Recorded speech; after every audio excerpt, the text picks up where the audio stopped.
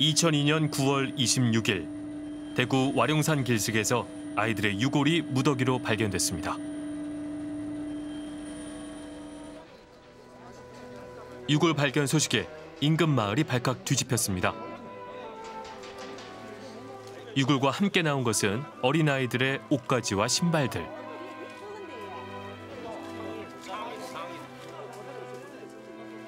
이 유골들은 11년 전 실종된 5명의 개구리 소년들입니다. 정지가! 정지가! 1991년 3월 도롱뇽 알을 잡겠다며 와룡산으로 간 소년들은 중적을 감췄고 그날 이후 부모들은 전국 방방 곳곳으로 자식들을 찾아다녔습니다. 그 당시 너무 허탈했죠. 아이들 바로 코앞에 그렇게 아이들이 있는데도 에, 그 11년 반 동안 그냥 전국을 찾아다니면서 어디 살아있지 않을까 부모들은 기대를 했었는데 그 광경을 보고 모두가 경악을 해 금치 못했죠.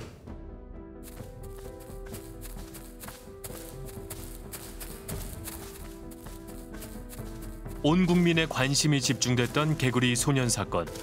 그 후로 31년이 지난 지금 개구리 소년들에 대한 제보들이 들려왔습니다.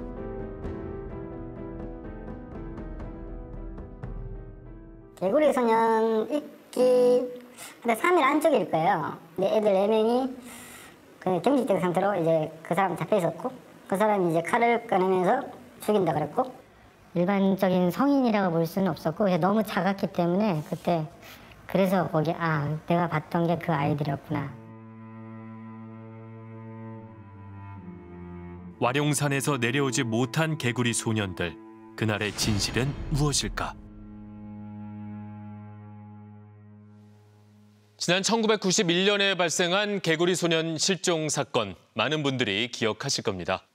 올해로 개구리 소년들의 유골을 발굴한 지 20년이 됐습니다.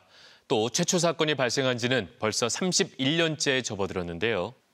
시간이 많이 흘렀지만 소년들의 정확한 사인은 아직까지도 밝혀지지 않았습니다. 살해당했지만 범인이 누군지는 모른다라는 게 지금까지의 잠정적인 결론입니다. 하지만 타살이 아니라 산에서 조난당해 죽음에 이른 것이라는 주장이 최근 다시 제기되면서 의혹이 커지고 있습니다. 31년 동안 미제로 남아있는 이 사건의 진실에 좀 더 다가가기 위해서 저희는 여러 추측과 가설을 집중 취재했습니다. 개구리 소년들이 타살됐다는 잠정 결론이 나왔습니다. 법의학팀은 발굴된 유골들에 대한 6주간의 조사 내용을 종합한 결과 누군가에 의해서 살해된 것으로 보인다고 결론 지었습니다. 지난 2002년 개구리 소년들의 유골 발견 후 법의학팀은 사인을 타살로 추정했습니다. 두개골의 손상 흔이 그 근거였습니다. 3구 이상의 두개골에 있는 소견은 인위적으로 생긴 것이며 생긴 시기는 사망 당시로 추정된다는 것입니다. 이는 이 아이들이 타살당했음을 뜻하는 것입니다. 우철원, 김종식, 김영규 군의 두개골엔 크기와 깊이가 다른 여러 손상흔들이 남아 있었습니다. 왜 이런 손상이 생긴 것일까?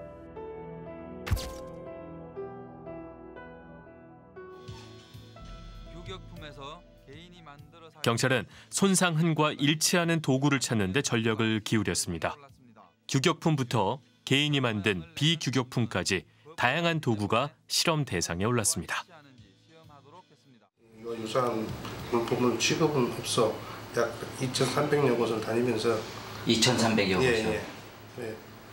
수집을 유사한 물건을 수집을 해가지고 저희들이 그 실험을 해보고 그냥 이콕 찍히네 그냥. 하지만 경찰은 두개골 손상 흔과 같은 흔적을 내는 도구를 찾는데 실패했습니다. 오늘 의외로 또 실망스러운 답변밖에 못하겠습니다. 저희들이 발사체를 직접 실험해 본 결과 그 이제 유개골, 두, 두 개골의 손상은 하고는 일치하는 게 없습니다. 그런데 최근 개구리 소년 사건의 구체적인 범행 도구를 지목하는 내용의 글이 한 온라인 게시판에 올라왔습니다. 그 글에 따르면 소년들 두개골의 손상흔과 비슷한 흔적을 내는 도구는 버니어 캘리퍼스라는 공구입니다. 버니어 캘리퍼스란 길이나 높이, 너비 등 기계 등의 수치를 정밀하게 측정하는 자의 일종입니다. 기계를 다루는 산업 현장에서 주로 쓰입니다. 두 개의 뾰족한 금속 다리가 달려 있습니다. 작성자의 주장에 따르면 와룡산에서 불량한 학생들이 본드를 흡입하고 있었는데 산에 오른 소년들이 우연히 이 광경을 목격한 것. 이윽고 불량 학생들은 소년들을 발견하고 비행 사실을 은폐하기 위해 버니어 캘리퍼스로 개구리 소년들을 해쳤다는 겁니다. 이 가설은 많은 누리꾼들의 관심을 받으며 화제가 됐는데요. 과연 근거가 있는 걸까? 글의 내용을 하나하나 확인해 봐야겠습니다. 우리는 91년 개구리 소년 사건 당시 와룡산 인근 학교를 다녔던 사람을 수소문에 만났습니다. 근처에 사실 학교가 그래 많지가 않거든요.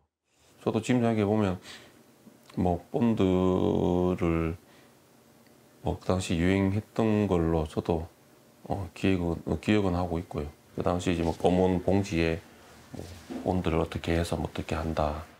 질이 안 좋게 놀았다 되 나? 어, 그렇게 논 사람들이 많았습니다. 그 당시에는. 그냥 뭐 가스 빨고 뭐 본드 빨고 뭐 이런 사람들이 좀 꽤 많았던 것 같아요. 어, 중고등학생들이. 저는 지금 개구리 소년들과 같은 초등학교를 다녔다는 민규 씨. 그는 당시 불량배에 대한 구체적인 기억을 들려줬습니다. 개구리 소년 있기 한 3일 안쪽일 거예요. 그래서 저희 반 친구들 다섯 명이랑 탄피를 주러 갔었어요. 방과 후 와룡산으로 놀러 갔던 민규 씨와 친구들. 그곳에서 놀다가 어떤 수상한 남자를 만났다고 합니다. 한그 당시로 봤을 때는 한 고등학생 아니면 많아봤자 스무 살, 스물한두 살? 안 넘었을 거예요. 머리가 짧았고, 음, 그 당시 기억으로는 고등학생 정도로 보였고, 그 경직된 상태로 이제 그 사람 잡혀 있었고, 남자는 칼을 꺼내 들고 민규 씨와 친구들 다섯 명을 위협했다고 합니다. 칼로 또 다시 위협을 받고, 조금 얼차례 비슷하게 좀 받고, 그리고 한 번만 더 자기 눈에 보이면 죽여버린다고 며칠 시간을 테니까 도망가라 그래서 정말 어, 홍미백산하게 도망간 적이 있었던 것 같아요. 제가 때는 하여튼 정상적이진 않았습니다. 뭐 반, 본드나 감가스나 한 한각질 했는 상태였던 것 같아요. 눈 자체가 잘은 기회가 나지만 그 당시에 눈을 봤을 때 정상적인 사람은 아니었습니다. 두렵다기보다는 개구리 소년 실종 소식을 듣고 민규 씨는 그 남자를 떠올렸다고 합니다. 뭐 아직 못 가봤습니다. 개구리 소년 사건이 터지고 그 다음 날 저희 학교에서 제가 했는 말이 딱 기억나는 게 친구들한테 와 큰일 날 뻔했다. 잘못하면 우리가 될 뻔했다. 이런 말 했던 기억이 있어요. 그냥 제 솔직한 심정을 말씀드리면 연관성이 있다고 저는 있을 수도 있다고 저는 생각하거든요. 그렇다면 당시 와룡산 인근에서 버니어 캘리퍼스를 쓰는 사람들이 있었을까? 그 글에선 공업 및 기술고등학교 학생들을 언급합니다.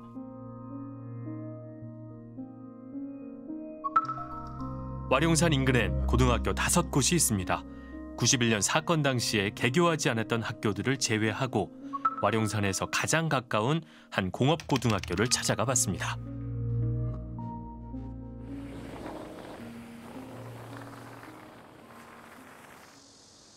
이곳 학생들이 버니어 캘리퍼스를 사용했을까? 학교 관계자를 찾아가 물었습니다. 그거를 쓰는 데가 기획도 같아 있어요. 네. 그럼 여기 그때 계획 당시 여기는 전자계열이라서 사고사밖에 없었어요. 와룡산에서 여기가 제일 가깝다고 해서 언제 사람들이 아, 뭐 불량 같은 거좀 있고 뭐 그런 얘기가 나오는 건 저는 들었습니다. 들었는데 이 문제는 그때 그 당시에 이 학교를 다녔던 학생들도 그렇고 지금도 그렇고 그때부터 지금까지 한 30년 되는데 원래 캘리퍼를 쓸수 있어요.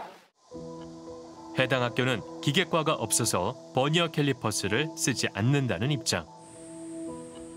와룡산 주변에는 대규모 산업단지가 있어서 버니어 캘리퍼스가 많이 사용됐을 것입니다. 소년들이 실종된 후 경찰은 마을 인근부터 시작해 대구 전 지역으로 탐문 수사를 해왔습니다. 특히 와룡산 인근의 중고등학교 자퇴생들을 포함해 공업단지 종업원들까지 일일이 탐문했지만 단서가 될 만한 성과는 없었습니다. 그렇다면 글 작성자가 사건의 흉기라고 주장한 버니어 캘리퍼스는 과연 두개골의 손상은과 일치할까? 우리는 법의학자들의 도움을 받아 실험해 보기로 했습니다. 먼저 두개골 모형에 지점토를 바른 후 버니어 캘리퍼스를 내리쳐 두개골 모형에 생긴 흔적을 살펴볼 계획입니다. 네, 준비됐습니다. 네, 가볼게요. 네. 하나, 둘, 셋.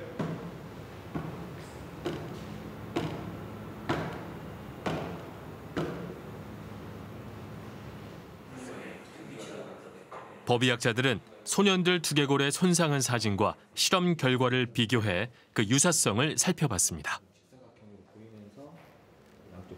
이게 한 2, 3mm 두께. 그러니까 예.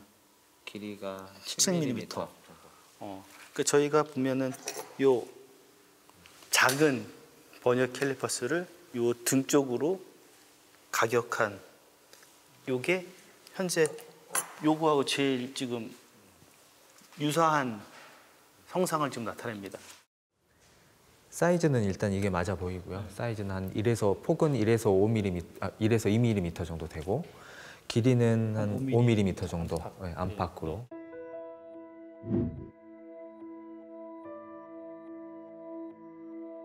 사진과 기록이 만약에 그렇게 돼 있다 그러면 그나마 가장 유사한 거는 오늘 실험한 거에서는 놀랍게도 예, 버니어 캘리퍼스 버니어 캘리퍼스로 내리친 흔적이 두개골의 손상흔과 유사성을 띠는 것으로 확인됐습니다. 소년들의 두개골에 난 이런 손상흔이 도구에 의한 외력으로 생겼을 것이라는 추정하에 타살로 생각하는 입장이 있습니다. 하지만 유골 발견 당시부터 개구리 소년들은 타살이 아니라 자연사라고 주장하는 사람들도 있습니다. 이들은 어떤 근거로 소년들이 자연사했다고 주장하는 걸까요? 개구리 소년들이 실종됐던 해발 고도 300m의 와룡산. 소년들의 유골은 와룡산의 동쪽 능선에서 발견됐습니다. 대구 성서국민학교 다섯 명의 어린이들이 집을 나간 지 이제 8개월이 다 돼가고 있습니다. 탐문 수사를 비롯해 외딴 섬을 수색하는 등 경찰은 그동안 들어온 250여 건이 넘는 만약 의심나는 아동이 있으면 즉각 그 자리에서 어, 인근 전화를 이용해 가지고 경찰 관서에 신고를 해주면 수사를 하기 좀 상당히 좋겠습니다. 소년들 실종 당시 대구경찰청 강력 과장으로 수사 계획 및 지휘를 했던 김영규 씨. 여기입니까?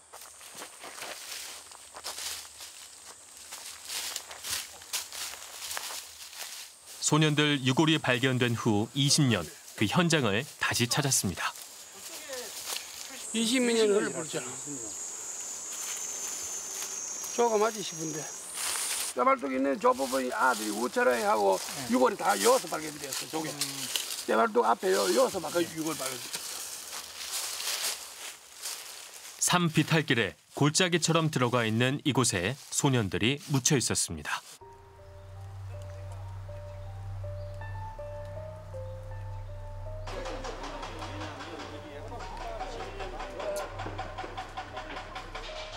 소년들이 있던 곳은 너비 3.2m에 깊이 1.2m인 움푹 파인 계곡이었습니다. 이곳에 다섯 소년들이 모여 있었습니다.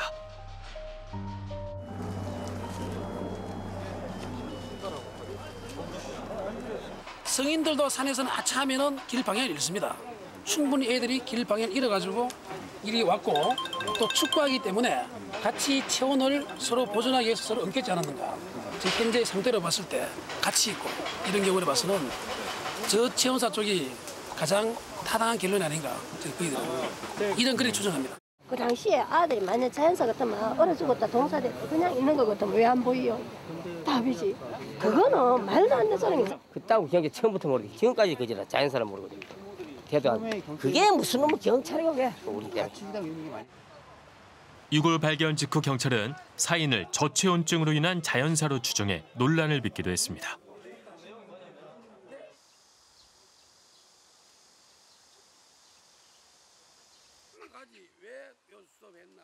김영규 전 대구경찰청 강력과장은 소년들의 사인을 저체온증에 의한 자연사라고 지금도 주장합니다. 와령산 요 골짜기 요그산요요 요 요 요 요 비가 오면 요 폭포가 떨어진 요 움푹진 곳에서 죽었습니다. 우리가 묻히는 거는 위에서 떠내려는 퇴적물에 의해 가지고 묻힌 겁니다. 범인들이 우리 갖다 묻은 게 아닙니다. 왜요? 와, 우리가 왜요? 와 뭐니까 왜요? 한 군데서 죽었겠습니까? 그날 비가 와가지고 집으로 갈라 하다 뭔가가 피하려고 요 있다 죽었, 한 개 들어가 죽었습니다. 다 설명을 하고 있어. 아들이 다. 김영규 씨 주장에 따르면 와룡산에 올랐던 소년들이 길을 잃은 상황에서 산속 비바람과 추위에 저체온증을 견디지 못하고 죽음에 이르게 됐다는 겁니다. 그렇다면 실종 당일 날씨는 어땠을까? 낮 최고 기온은 영상 12.3도, 다음 날 새벽엔 체감 온도가 영상 1.6도까지 떨어졌다고 합니다. 사건 발생 당일 3월 26일에는 오후 6시 20분부터 비가 시작이 됐는데요. 어, 오후 9시까지 2.8mm, 또 오후 9시부터 27일 자정까지 3mm로 3월 26일에는 총 강수량이 5.8mm 정도 되거든요. 어, 2.8mm 정도 내렸을 때 땅에 물이 약간 고일 정도의 그 정도 좀 지면 상태를 보였다고 좀 관측 자료가 있거든요. 그래서 충분히 옷도 충분히 젖을 정도의 양이고 땅에 물도 기본적으로 약간 좀 보일 정도, 고일, 고임이 보일 정도의 양이라고 보시면 될 것 같습니다. 저녁부터 비가 오고 기온도 내려가 어린아이들이 밤새도록 산에 있었다면 추위에 떨었을 가능성이 있습니다. 또 3월이면 해가 뭐 한 5시에서 6시 사이에 아마 지는 걸로 제가 알고 있는데 그러면 더더욱 어, 아이들은 그 해가 지는 상황 자체도 좀 불안하게 느꼈을 것이고 그래서 어, 평소에 알고 있는 길조차도 조금 약간 낯설게 어, 받아들였을 가능성이 있습니다. 어, 리더 역할을 하는 친구가 그 길을 약간 헤매게 되면 그러면 어, 분명히 이제 그 친구는 좀 많이 당황을 하게 될 것이고 많이 불안해질 것이고 또 그 안에서 그 다른 친구들을 책임져야 된다는 책임감도 있을 것이고 부담감도 있을 것이라고 생각이 됩니다. 소년들의 유류품에 특이한 점이 있었는데요.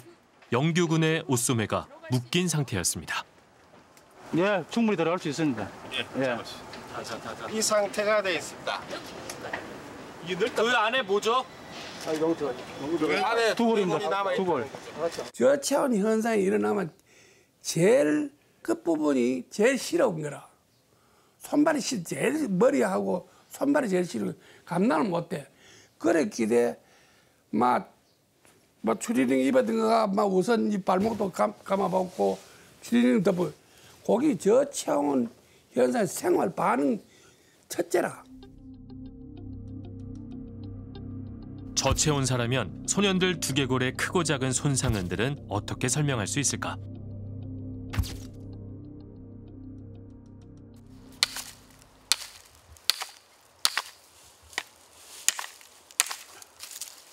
이링이 내려치면 어, 떨어지지 못할 건데 그 크기에 따라서 다르고 이봐 이것도 형태가 그렇게 그 국가수에서 여기 부합되는 공군은 하나도 없다 가지고 이렇게 어예 그 아들마다 다 다르겠네 이봐 다, 다, 다 다르게 나오는 기라 모서리가 날카로운 돌들이 비바람에 휘몰아치면서 소년들의 두개골에 손상을 입혔다는 겁니다. 법의학자들은 돌에 의한 손상은이라는 주장에 대해서 어떤 입장일까? 해밍을 확대를 하니까 굉장히 이렇게 아주 엣지가 날카롭잖아요 가장자리가 이와 같은 날카로움은 인공주로 만든 어떤 칼이나 뭐 끌이나 이런 거 아니면은 없잖아요. 그래서 흉기가 되는 것이죠. 아무리 10대 초반의 청소년의 두개골이라고 해도 그 강도가 만만치는 않거든요. 근데 그 두개골이 깨질 정도의 매력이 가해졌다면은 누군가 일부러 힘을 주어서 매력이 가해졌을 때 좀 더 가능성이 높지 어떤 자연적인 물체들이 뭐 바람이라던가 물이라던가 이런 것에 의해 자연적으로 움직이는 과정에서 가해졌을 법한 외력의 크기로는 그런 손상이 부, 어렵지 않을까. 소년들의 정확한 사이는 여전히 오리무중인 상황. 산으로 놀러 간 소년들이 왜 집으로 돌아갈 수 없었는지 그 이유는 무엇이었을까요? 개구리 소년들의 사인이 타살이다, 아니다, 자연사다 의견이 분분한 가운데 두개골 손상은에 대한 자세한 분석이 가능하다면 이 소년들 죽음의 실체에 조금 더 가까이 다가갈 수 있을 것입니다.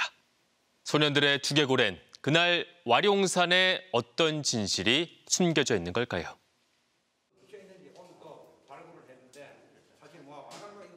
2002년 현장에서 발견된 소년들의 유골과 소지품으로 여러 검사들을 실시했습니다. 독극물과 혈흔 등 많은 검사를 거쳤지만 백골 상태였기에 사건 해결의 단서가 될 수 있는 결과는 얻지 못했습니다.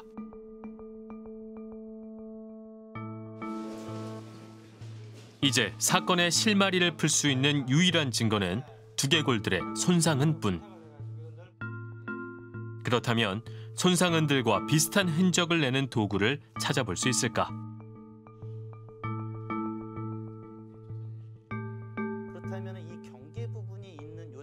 박대균, 나주영 교수와 함께 먼저 손상은들을 살펴봤습니다. 좀.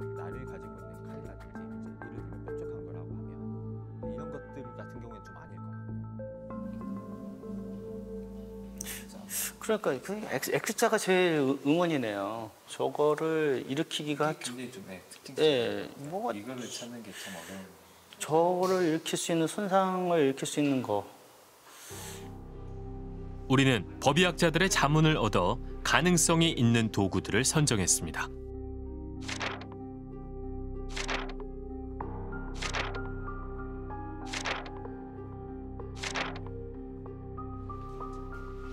지점토를 올린 두개골 모형. 사람의 두개골 강도와 비슷한 돼지 머리뼈, 생체 역학 테스트 블록을 준비했습니다. 테스트 블록 위에 두피를 대신할 돼지 껍질을 올리고 도구로 쳐보기로 했습니다. 먼저 용접 망치로 실험했습니다.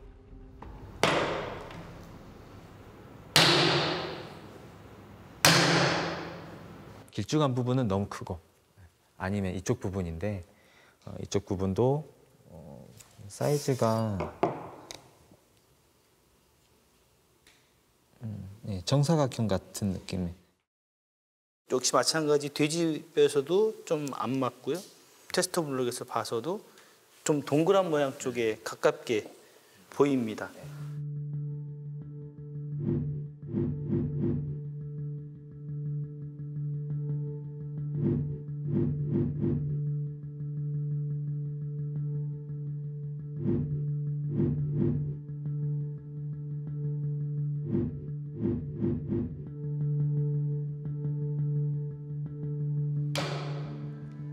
전지 가위는 어떤 흔적을 남길까? 예, 전지 가위인데 여기서 보시면은 여기서부터 1, 2, 3, 3mm 폭 정도가 되고 네, 길이로 보면은 여기서부터 여기까지가 6mm에서 7mm 사이 정도 되는 거죠. 여기 요 사진에 요게 너비가 아까 한 2mm고 길이가 한 6mm 안팎이기 때문에 좀 비슷한 크기다 이렇게 이야기할 수 있을 것 같습니다. 우철왕군의 두개골 X자 손상은과 가장 유사한 흔적을 내는 도구는 버니어 캘리퍼스와 전지 가위로 실험 결과 나왔습니다.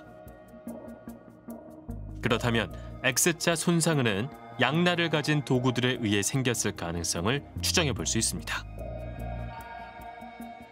소년들은 두개골에 생긴 X자 손상 때문에 사망하게 된 걸까? 기본적으로 저희가 만약에 뼈에 손상이 생기면 치유라는 과정들이 발생을 하게 됩니다.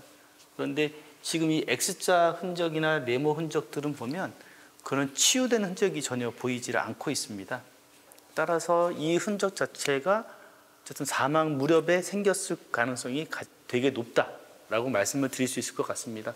손상의 크기가 가로 한 폭이 2mm 안팎, 길이가 한 5, 6mm 안팎 정도라고 하면 어, 정말 치명상을 입힐 수 있었을까라고 하는 부분에 대한 예, 좀 어렵지 않을까라고 하는 어떤 그런 말씀을 좀 드려야 될 것 같습니다.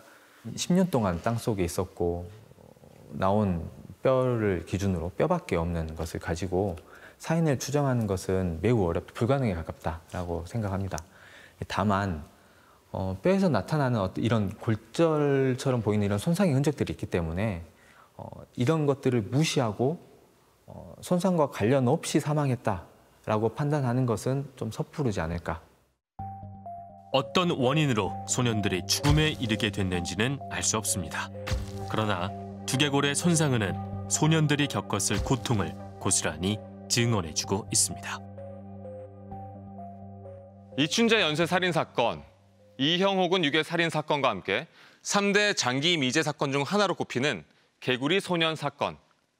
아이들이 실종된 때부터 유골이 발견되기까지 그 11년 동안 어떤 일이 있었기에 이 사건은 장기 미제로 남게 된 걸까요?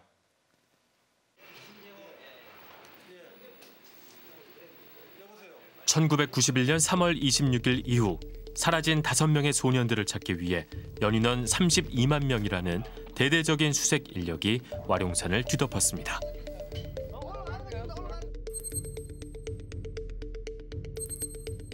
그러나 경찰들이 집중 수색하던 지역이 아닌 다른 곳에서 개구리 소년들의 유골이 발견됐는데요. 저희들도 처음에는 수색 방향을 원래 도룡동이 있는 데가 이쪽이 아닙니다. 저쪽 건너 능선입니다.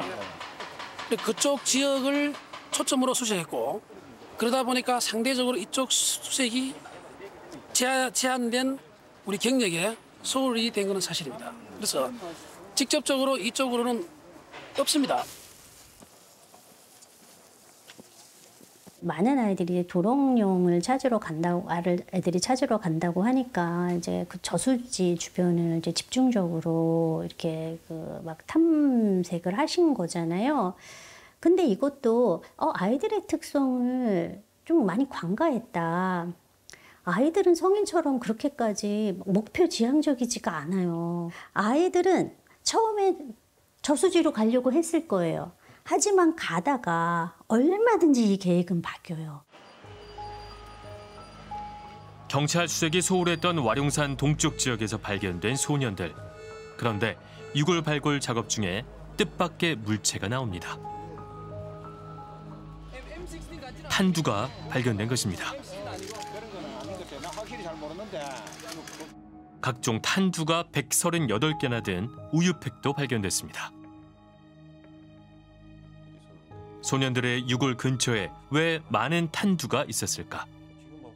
주말에는 이제 그 학교 뒤에 이제 그 와룡산이 있는데 이제 거기에 보통 이제 곤충이나 이제 도롱뇽도 잡으러 가기도 하고 뭐 때로는 그 총알 또 탄피도 예, 주로 많이 또 다녔죠. 성서초등학교 뒤쪽에서 54단 사격장이 어, 지금 기억으로 생각해보면 한 불과 한 200m에서 300m 그 정도 거리에 있었거든요. 근데 그게 다 오픈돼 있었어요.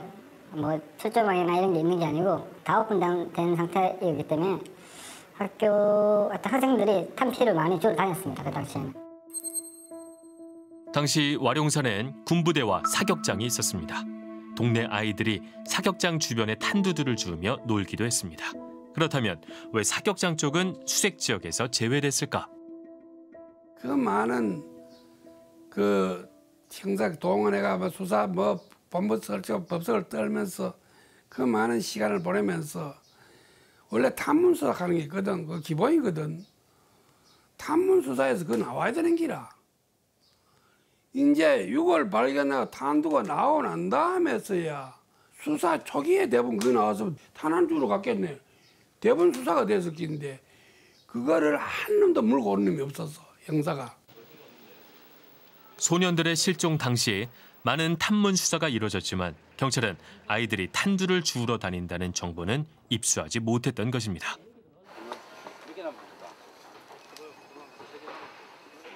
유골 발굴 현장에선 연이어 다른 종류의 탄두가 나왔습니다. 사실 한번 들어보시소. 탄피 맞는데. 맞네. 탄피 나왔습니다. 유골 주변에서 탄두가 발견되자 사람들의 의혹은 군부대로 쏠렸습니다. 그날에 어떠한 부대 활동도 제대로 기록되어 있는 것은 없는 것으로 봐서 그날은 사격이라든지 이런 것이 전혀 없은 것으로 확인됐고 그 이전에 근무했던 인원들까지 추적해서 그 당일날 사단사령부 요 지역에서 훈련한 것이 있었느냐 특히 그 당시에 근무했었던 사격장 다일이 선임하사가 현재 사람 주임원사입니다. 이 사람 주임원사가 사격장 관리를 하기 때문에 그날은 전혀 사격이 없었다 하는 것을 명확하게 입증할 수가 있습니다. 그렇다면 유골의 손상 흔히 총상과 관련이 있는 걸까? 탄피가 발견되고 있기 때문에 우선 보시면은 왼쪽에 구멍이 하나 있고 그죠? 오른쪽에도 구멍이 하나 있습니다 그죠? 그래서 마치 한쪽에 총을 맞고 나간 것처럼 느끼실 수가 있습니다. 총알이 뚫고 들어가고 나올 때는 들어가는 곳은 작고 속은 넓고 나올 때는 속이 좁고 바깥이 넓습니다. 지금 여러분들이 보시는 이 두개골은 전혀 그런 상황이 아닙니다. 나중에 깨졌을 수도 있고 총알에 의해서 생긴 건. 개구리 소년들 실종 후 군병력이 동원돼 와룡산을 수색하기도 했습니다.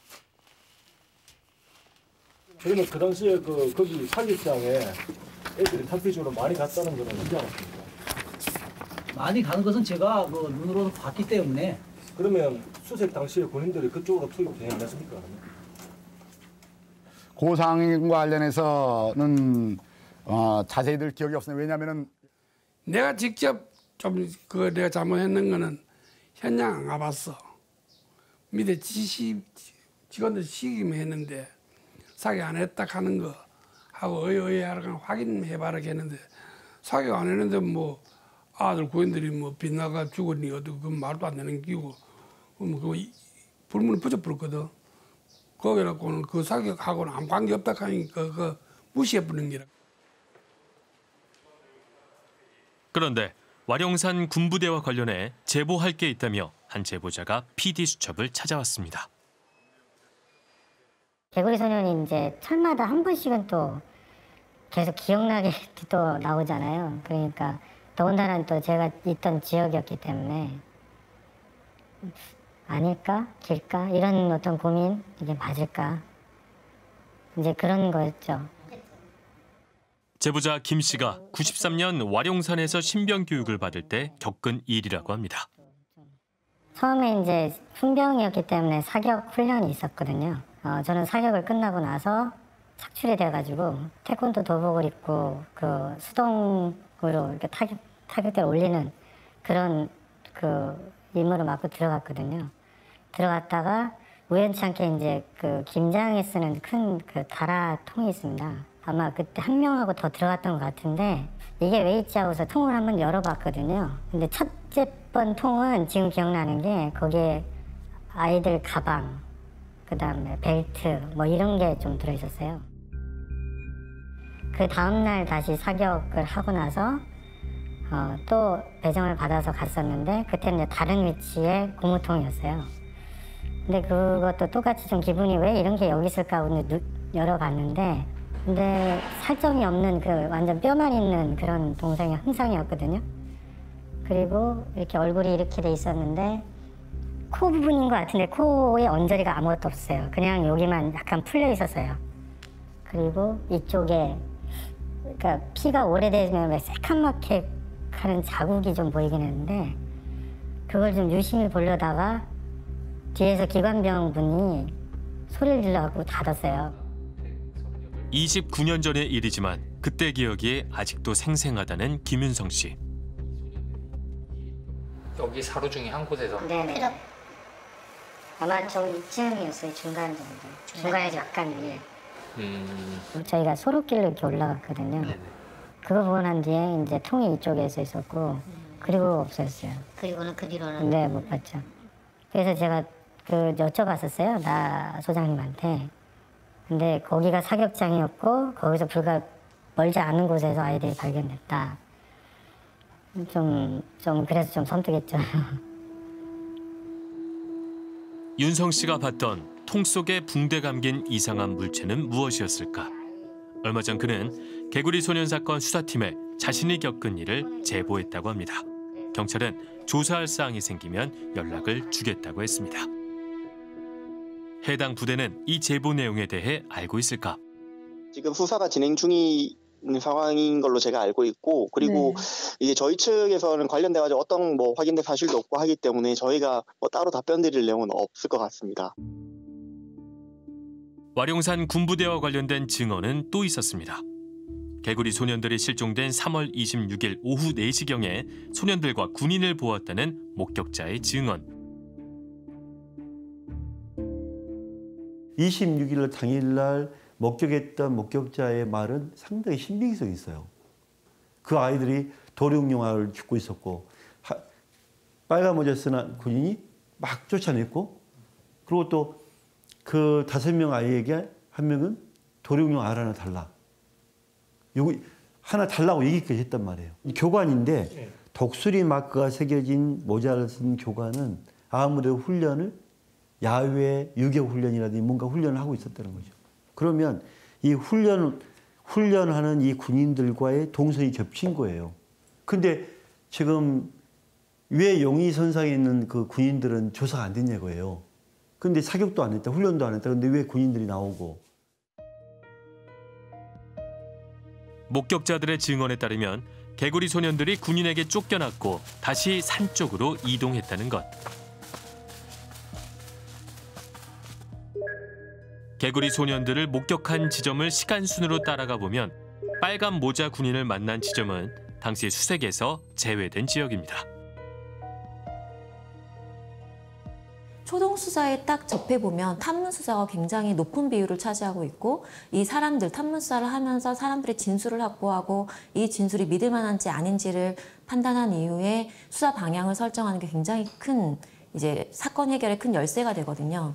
근데 이런 부분들에 대해서 수사관들의 교육이나 이런 것들이 좀 더 많이 이루어질 필요가 있다라는 겁니다.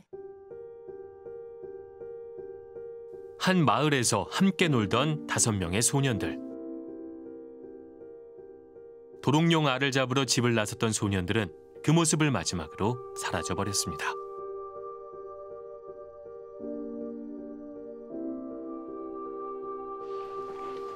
(11년째) 실종 상태였던 소년들이 우리 앞에 나타난 순간 경찰 수사상의 문제는 유골 발견 현장에서도 드러났습니다. 과학수사계와 법의학팀이 현장에 도착하기 전에 파출소 직원이 유골을 확인하는 과정에서 일부를 발굴했던 겁니다.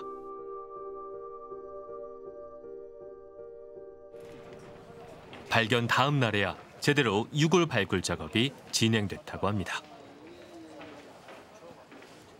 네 명의 위쪽에 있던 부분은 밖에 나왔고 아랫부분을 파묻혔던 재질 발굴했고 그렇죠. 온전하게 발굴한 건 이제 한 구밖에 없고 한 구고 나머지는 부분 부분이죠. 훨씬 더 많은 증거를 그런 저 저기 저희 파악했을 그런 가능성은 확실히 많이 있는 거군요. 당연하죠. 그래서 이 발굴이라는 게 이렇게 수유골인 경우에는 매장해 있는 자세가 매우 중요하거든요. 시체 자세가. 아이들이 발견된 이 장소는 어떻게 보면 증거의 보고입니다. 이 사건을 풀 수 있는 어마어마한 증거의 보고라고 봐야죠. 사체의 모습 하나를 보고도 판단할 게 많아요. 유가족들은 국가를 상대로 손해배상 청구 소송을 제기했습니다. 사건 초기 경찰이 수사를 소홀히 했고 유골 발굴 현장을 훼손했다는 것입니다. 그 법의학 팀에서 와가지고 그 항구를 이 발굴을 하는데 무려 8시간이나 걸리는 걸. 그 전에 내구는 이미 사과 보갱이로 바로 짧은 시간에 다 파헤쳐졌더란 말입니다. 그 당시에 저희들은 정말 그 참 너무 현장을 너무 괴로웠어요. 그러나 법원은 초동 수사와 유골 발굴 과정에서 경찰의 위법 사항은 없는 것으로 판결했습니다. 저희들 꼭뭐 승소한다는 것이 목적보다도 경찰이 뭔가 잘못된 점을 좀 지적을 해주고 싶다. 어, 그리고, 그, 그리고 이것을 감안해서 좀 어, 수사를 좀, 좀 본격적으로 잘해달라. 뭐 이런 요청을 하는 의미가 컸죠. 예, 뭐 꼭 재판에서 승소하느냐 여부를 떠나서. 근데 아직까지도 그 의문점이 많이 해소되지 못한 게 많지, 많지 않습니까?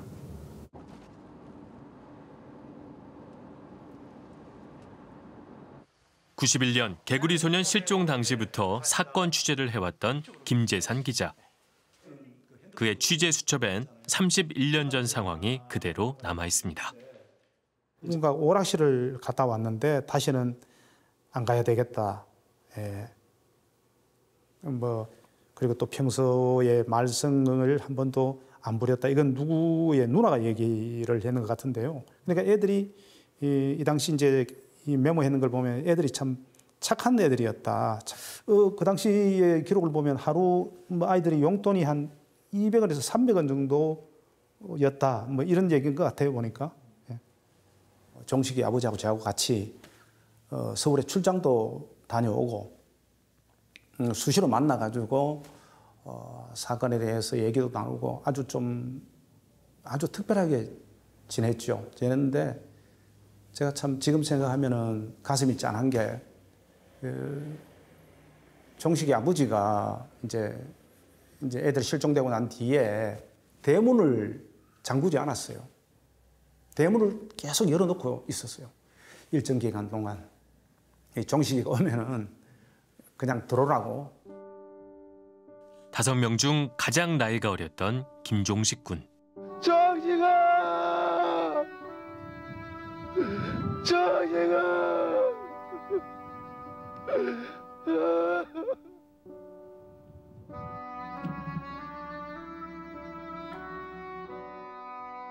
무척의 신약차야 물러가거라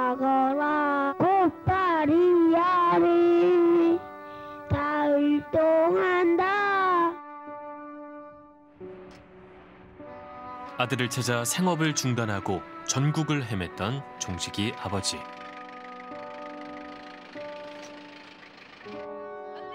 한순간도 종식이가 돌아올 거란 희망을 놓아본 적은 없었습니다.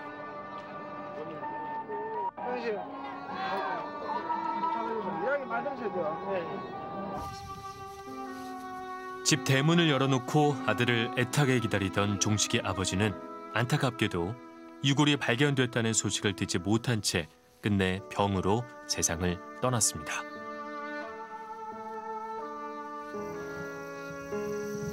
정식 아빠 그래도 정신 차렸습니다.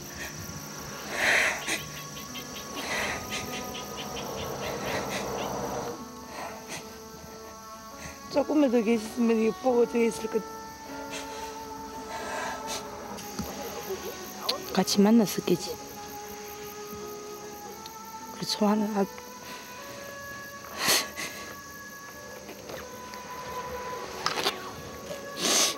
그렇게 하고 있겠지 내는.